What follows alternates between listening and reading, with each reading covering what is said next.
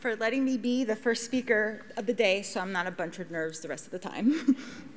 this morning, I'm going to tell you all about a hashtag that holds a special place in my heart and how it connects to the work I have done at Hallmark as a type designer.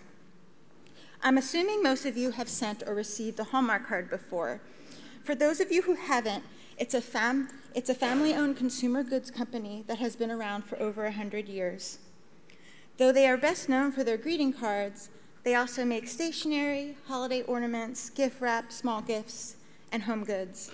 10,000 people work at Hallmark worldwide. 900 of those employees work at the company as designers, illustrators, writers, editors, photographers, and lettering artists. Also included in that group are two type designers. In-house type design is not a new concept at Hallmark. In 1964, the Alphabet Group was formed by the late Myra McVey. Back then, the purpose of the group was to create custom alphabets for use on photo typesetting machines. We still make alphabets, but computers and fonts have replaced those machines. Currently, our font library has about 8,000 fonts in our collection. 2,500 are proprietary to Hallmark, 7,500 are from retail licensing. One thing I noticed when I started working at Hallmark was a lot of the projects I was assigned had women artists as a lettering source. As I started to see fonts in use on Hallmark products and was posting them on Instagram for my followers to see, I wanted to celebrate the fact that I am part of Hallmark's history of being a place a woman could succeed in the lettering and type design world. Though I constantly make an effort to work with all sorts of folks, I figured showcasing fonts that women have created would not only show my peers in type about the power and capabilities of women in the world of lettering and type design, but students and designers who want to take a type design class but have not have any idea where to start. So with that said, let me talk about some of the projects I have worked on over the years with lettering artists, designers, and illustrators that I really think you should know about. The first hallmarker I'm going to talk about is master artist Lynn Ginta. I remember the first time we met. She had a whole gaggle of artists come to my desk to say hello. Her work is an extension of her personality, joyous, optimistic, and genuine. I really love her collages and how she incorporates imagery with letters. I recently attended one of her workshops, and I must say, she makes it look so easy. When I was assigned to make a font based off the word mark she made for Think, Make, Share, Hallmark's creative blog, I was a tad intimidated because I wanted to make sure I made something that she wasn't going to go, wow, that looks nothing like my work. When the project was given to me, I was pretty much told to make a font that looked like these subheads. We started having Lynn letter out the words and numbers needed for the font. The reason I asked her to write words over the letters is so I could see how she connects letters when creating words. Then I scanned them into the computer and used Illustrator to sort through them, figuring out how much texture I wanted to keep in the font. These vector files were then put into a font editor. At Hallmark, we are proud Glyphs users. When I'm making fonts that connect from letter to letter, I often start with these four lowercase letters, N, O, R, and S. With a lot of connecting fonts, it's ideal that all the letters connect in one way or another. Because Lynn's lettering was so loose, I decided to keep the lowercase o's not connected by default. Once I got them into a place where I was thought the spacing between the letters and other connections were working, I started adding in high exits I saw from Lynn's lettering samples, which in this, in her lettering was O, V, and W. Once I got those basics into a place where I was happy, I proceeded with drawing the rest of the letters. I also made another set of A to Z so it looks more like lettering typed out. After a lot of work, this is the final result. I made the developer turn on the open type features so all the uh, entrances and exits were shown. okay. I often give the lettering source first dibs on naming the font, but this time Lynn let me name it. I decided to call the font Maker because Lynn thinks of herself as a maker, and making is such a huge part of our creative culture here at Hallmark. Lynn was absolutely thrilled at the name because she thought it summed up her word, her work, and how she makes work, a maker at heart. Barb Mizik is a coworker who early on put so much trust and confidence in me when I worked with her on several fonts. She is also one of those amazing artists who's been working at Hallmark pretty much her whole career. Her caring and love she shares with others seeps into her work. When I first started working in the font group, I used to watch her in awe paint with watercolors at lunch. She also has a real knack for pattern and form and can letter in so many amazing styles. I recently saw this wonderful card she designed for the line, and I just love it. It's seriously such an awesome card. so back to the fonts. Our coworker Allie was getting married, and we threw her a wedding shower. Barb made this adorable branding for the party. As we were enjoying the party, I kept thinking to myself, I want to make this into a font. Because I knew my art director would make me make more than just an all cap style, with the intention of working them together when later topple one another, I decided to make three fonts. This font would have an upper and lowercase characters to make it more useful for designers. Because I knew Barb was amazing at drawing letters, I asked her if she could draw out the lowercase for me.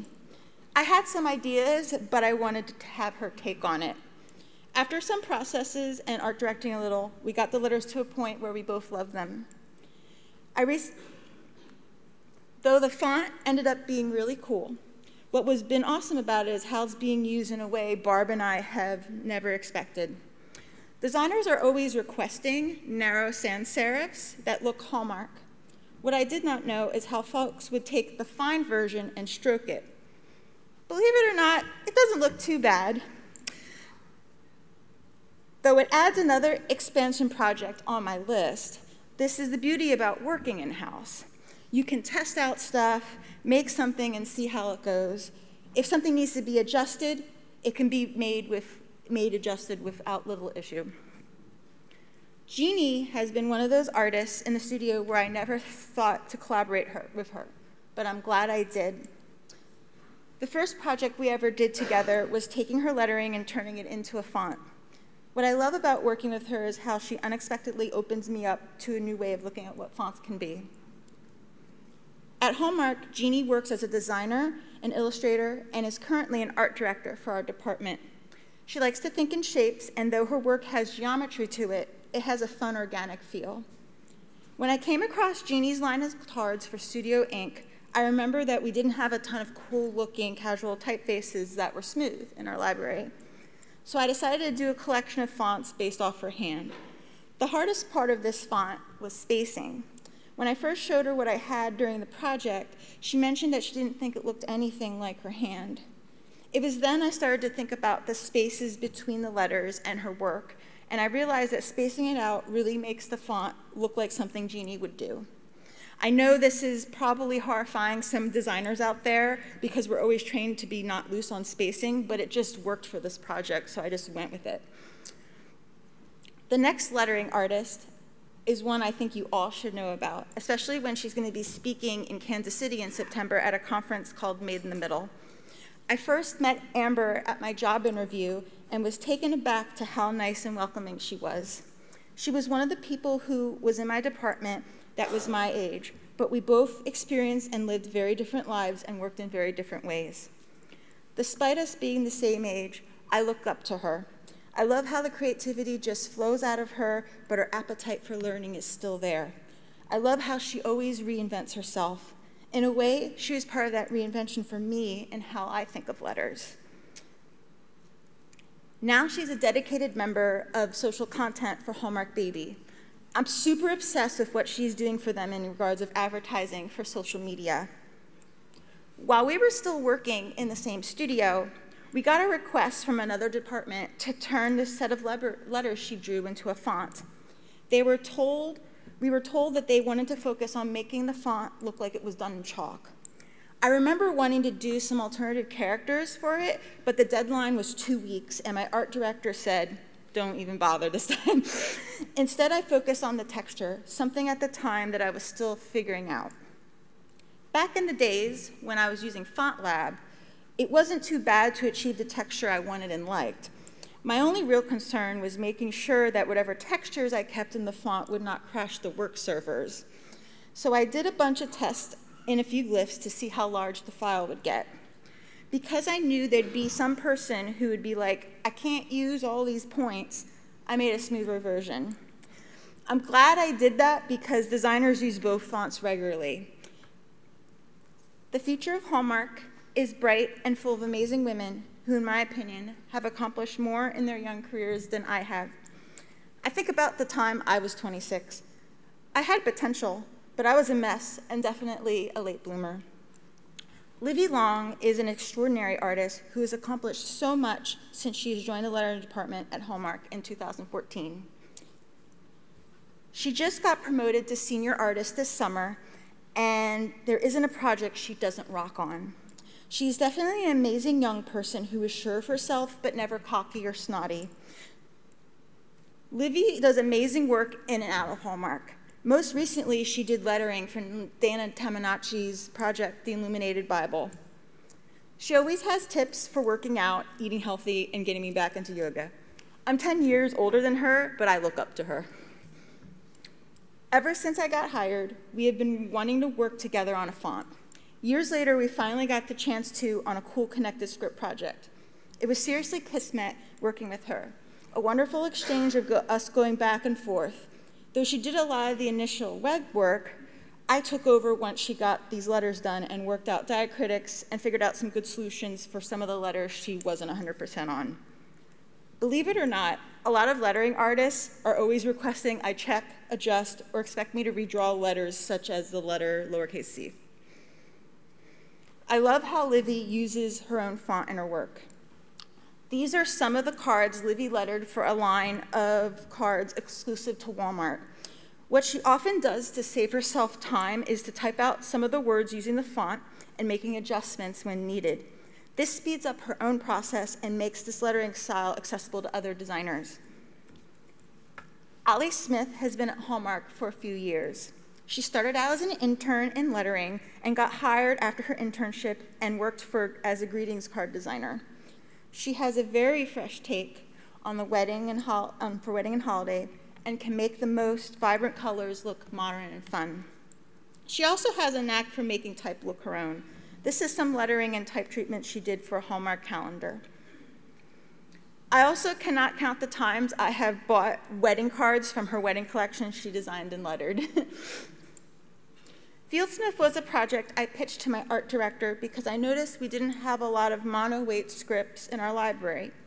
I was working on one, but I wasn't feeling it at the time, and after seeing Allie's lettering on the wedding card line, I knew it would work really well as a font. I started by collecting a bunch of letters from her. Lucky for me, everything she lettered was an illustrator using the line tool. So I didn't have to like figure out stroking and glyphs. I just popped the letters in and then just used the Noodler extension and figured out adjustments there. Once I got the vectors and glyphs, I told her then what letters I needed from her, which were mostly capitals and numbers.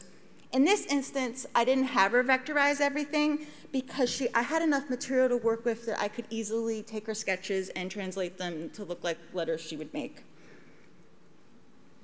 After getting the lowercase in a good place, what I did was I used OpenType to make the, her font look more like lettering. So what I did here was I just used a few lines of OpenType code to just lower, lower the entrance and exit of the letters, just so it looks like a natural loop. It's been so much fun seeing this font in the wild. Allie's back in lettering with us, so thanks to Fieldsmith font, other designers could utilize her work if need be. In this slide, another designer, Nan Chinchai, made a whole series of Valentine's Day cards and used Fieldsmith as the lettering. Having this proprietary font around is another way designers, lettering artists, and type designers can collaborate on work in an in-house environment. While we're on the topic of Nan, let's just say she's a Renaissance woman. She's not only a great photographer, but she's an amazing, fantastic lettering artist and greeting card designer. She's always up for an adventure and exploring and has become one of my dear work friends. Nan recently shared with me about how she went to college, she was pre-med. Her older sister, who is also a designer, encouraged her to go for graphic design. I was following Nan on Instagram when she was still a student, so I was excited to have her come at Hallmark as an intern. She was on my list for collaborating on a font for a very long time, but the right project never came along until one random weekend when we both happened to be at the office. You see, I was hanging up posters around the office for Kansas City Design Week, and I noticed Nan was working at her desk. She was working on a poster for an employee event and asked me if I had any suggestions for the hand text. She showed me all her sketches, and I saw this amazing print, and I told her to try that. She went, hmm, I think I might and then I left her to finish hanging posters. A week later, I saw the poster and thought it would make a fantastic font. So the next time I saw her, I asked if she could pitch to letter, if I could pitch the lettering to be developed into a font, and she okayed it. And then about a month later, my art director asked me if I wanted to work on her font, and I said, oh yeah. so we got to work. I asked her um, to just write words and I also asked her to, um, if she felt that it was coming out of her, to try a lowercase. She came back with three of these amazingly detailed pages of text. I had no problem grabbing from this for the font. One thing Nan and my art director agreed on is that we wanted to take her lettering and make it into a really clean font. So what I did was I took her sketches, I made path and glyphs, and then once all the letters were created, I figured out the stroking and then made the adjustments. This is the final result of that font. I really love it can be used simply, or you can turn on the open type features and you can get the, all those little details that is something Nan would do. It's working and lettering from all these wonderful women that have completely gotten me out of my comfort zone as a typeface designer. When I first came to Hallmark, I mostly wrote letters with a pointed pen. All these women have inspired me to push my styles. I can now draw letters. This job also allows me to try new things and push myself in ways that are completely against my norm. This is something I sketched up when I was in a black letter class with a retired Hallmark artist.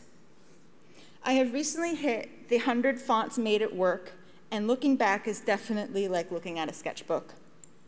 For me, that's what's awesome about being a type designer. There's always room to learn and grow.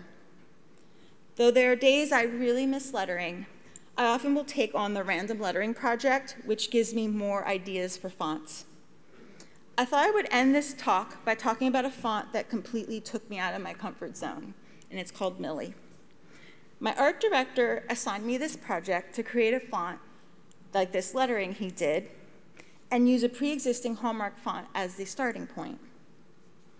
So I started making the font, and honestly, I really wasn't feeling it. It just didn't look right. So I go to my art director, and he agrees, and asks to see all my process sketches, which I show him the whole pile. I pretty much use the whole sketchbook. Some, he sees all this stuff and goes, I really want you to use these as reference, and I want you to pretend that you're a lettering artist trying to copy your own style. This was kind of my reaction in my head to that because I was like, my goodness, these are horrible sketches. I don't want to turn this into a font. But he asked me to do it, so I kept going. So I get it to a place where I'm pretty happy with it. And then he goes, the spacing is not irregular. Make it irregular. And this is what is happening in my head because I'm just like, that is not what we do as type designers. But then, like after a few days, I had this epiphany and I just went, okay, I'm just gonna go for it and make it perfectly imperfect. So this is what I ended up with.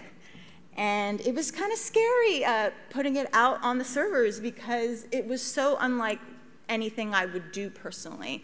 I would never make a font with irregular spacing, but designers really took it to it. Like this was the first card I, the first um, time I saw the font used on a card. This is a singing card that they call Anthem. And then my favorite usage is on these um, anniversary cards.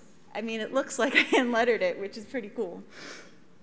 So to end my talk, I'm going to say this quote that I love from Margaret Kilgallen. Whenever I hear people talk about how there's too many fonts in the world or that lettering is oversaturated, I think it maybe these people aren't looking beyond what they are inspired by. So here's it is. My hand will always be imperfect because it's human. If I spend a lot of time going over the line and over the line trying to make it straight, I will never be able to make it straight. You can always see the line waver, and I think that's where the beauty is. Thank you.